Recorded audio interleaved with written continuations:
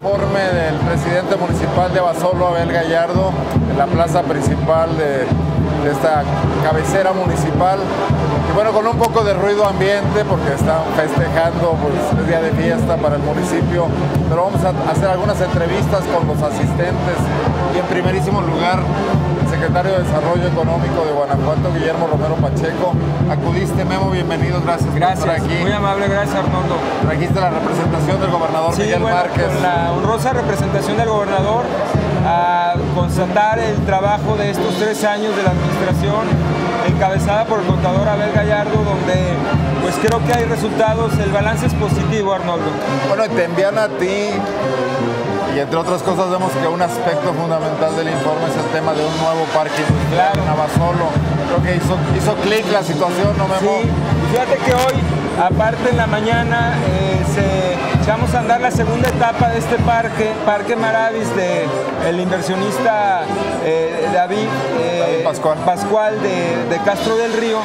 Pero es muy importante, Arnoldo, porque se está privilegiando también el desarrollo no solo en el corredor industrial, sino en lugares como Abasolo, que es el caso, Valle de Santiago, y da una oportunidad de que lleguen, eh, que traigamos, que promovamos empresas internacionales y nacionales. Ya de hecho se están instalando prácticamente cinco empresas, una de ellas ya, ya en funciones, eh, cuatro de ellas japonesas, y eso nos va a dar, le va a dar al municipio una, una, un potencial, una posibilidad mayor en la movilidad social. Eso es muy importante. Y en captar a sus propios y en captar, diversificarse. Egresados de nuevas claro, de, de captar aquí. a toda la gente que está viendo con el CCT, con la parte de, la, de los institutos del Instituto Tecnológico.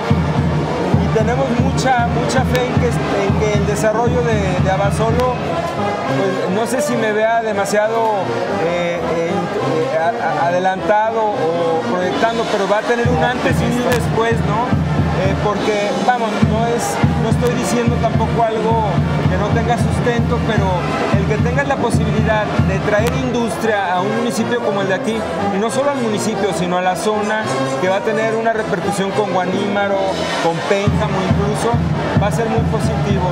Lo es ya muy positivo, ¿no? Bueno, al principio veíamos que la dinámica de desarrollo industrial de Guanajuato contagiaba a algunos alcaldes. Tú mencionaste. Valle de Santiago, San Miguel Allende, Abasolo. Abasolo. Pero hay posibilidades, hay tantas empresas queriendo venir a Guanajuato. O vemos que se convirtió en un círculo virtuoso, Memo. ¿Qué hacer con las próximas administraciones? ¿Queda el compromiso de seguir apoyando esta sí, política? Mira, yo creo que es muy buena pregunta, Arnoldo, porque esto hay que hacerlo con mucha inteligencia, con mucho análisis. No, no tampoco es que yo tengo un predio y vamos a hacer un parque, ¿no? Porque entran las euforias, ¿no? Y entran las modas y me recuerda mucho la época del agave, ¿no? Que todo el mundo quería sembrar agave. Aquí hay que tener, hay que hacer las cosas y por eso tenemos detectadas las zonas con potencial económico, precisamente para lograr un equilibrio y no provocar... O sea, no cualquier municipio exactamente, puede no cualquiera o no, no, en cualquier parte o, en, eh, o en, hay, se tienen que reunir ciertas variables, ciertas características, por no decirle requisitos, para poder ser factible a desarrollar un parque industrial o un polígono. No tiene que ser un parque, puede ser un polígono. Entonces, esa información sí la hemos trabajado en desarrollo económico en el área de infraestructura y eso ayuda a que cuando viene un inversionista potencial, un desarrollador, pues hagamos, eh, eh, le mostremos ¿no? los lugares que están a desarrollar. Eh, ¿Para qué? Pues para que nos cuidemos y cuidemos este desarrollo. Esto que me, tú me preguntas, ¿qué, ¿qué, viene? Bueno, en estos próximos tres años que cierra la, que justamente hoy estamos cumpliendo tres años, Arnoldo, de esta como administración. gobierno estatal, correcto. Eh, como gobierno estatal, propiamente dicho, eh, tenemos eh, esta meta ahora 10 mil millones de dólares en cuanto a inversiones, pero sobre todo consolidar este, este clúster.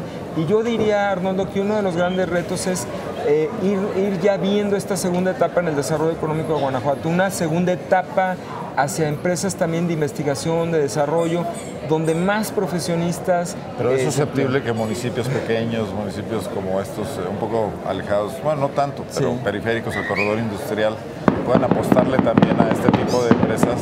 Eh, sí, la respuesta es sí, y siempre y cuando tengan una visión regional, siempre y cuando se ¿Qué deben hacer los alcaldes? ¿Qué hizo bien Abel Gallardo que hizo pueden replicar Abel? otros alcaldes? Bueno, como lo dije un poco en mi mensaje, es tener esa, esa visión, esa inspiración verla, pero no solamente que, quede en sueño, que quede, que esté sustentada en, características y, que esté sustentada en un compromiso de inversión, de, de, recursos, de tiempo, de equipo, ¿no? Abel lo hizo desde el principio y parecería mentira que en poco tiempo, en tres años, se haya logrado y ahí está ya el parque, pero es que hubo lo que comenté, hubo el compromiso, la constancia, la apertura, el saber escuchar, ¿no? Porque a veces eh, nos casamos con una idea y aquí tiene que ser el parque, ¿no? Y en este lugar y hay que, hay que abrirnos ¿no? a las posibilidades y buscar también las personas adecuadas, Arnoldo.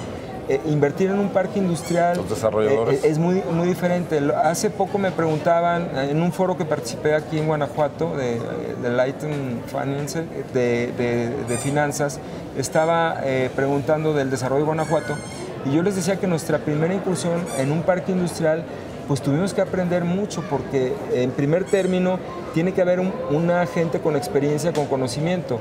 Es muy diferente, por ejemplo, ser desarrollador de vivienda que desarrollar parques industriales. Son negocios, modelos muy diferentes. Entonces, hay mucha gente que tiene, por ejemplo, tierra que tiene en Guanajuato y que quiere participar. Lo que nosotros sugerimos, Arnoldo, es siempre una alianza, una sociedad y que, que está funcionando, ¿no? con un desarrollador profesional con experiencia y que vaya, que vaya avanzando. Memo, estas decisiones y este círculo virtuoso, y esta es la pregunta con la que finalizo porque tienes un compromiso y ya te vas a León, ¿están cambiando el perfil eh, productivo de Guanajuato? ¿Tú ves que sí se está moviendo el tema del tipo de Estado que éramos hacia otros escenarios? Sí, sí, mira, eh, desde luego con, eh, se ha hablado tanto el clúster, pero hay muchos otros sectores que están profesionalizando, eh, pero a grandes pasos. Agroindustrial Arnoldo tiene unos progresos impresionantes. De hecho, una meta que tenemos estos próximos tres años es apoyar muy fuerte este, este sector porque es un generador de empleos y un generador de, de divisas, ¿no? de exportación pero aparte está representado por muchas medianas y pequeñas empresas.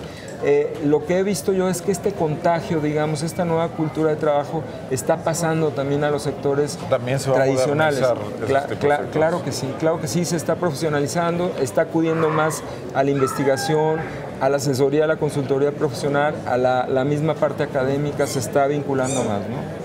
Memo, pues muchas gracias. Encantado de verte y, de estar aquí, en tu misión y además te ya, misión cumplida y con el gusto de saludarte y saludar a nuestra audiencia en Zona Franca. Que nos des estos minutos. Gracias. Yo voy a continuar haciendo algunas otras entrevistas. Eh, le agradezco mucho al contador Guillermo Romero Pacheco, secretario de Desarrollo Económico, que nos haya dado este espacio. Gracias, hermano. Ándale.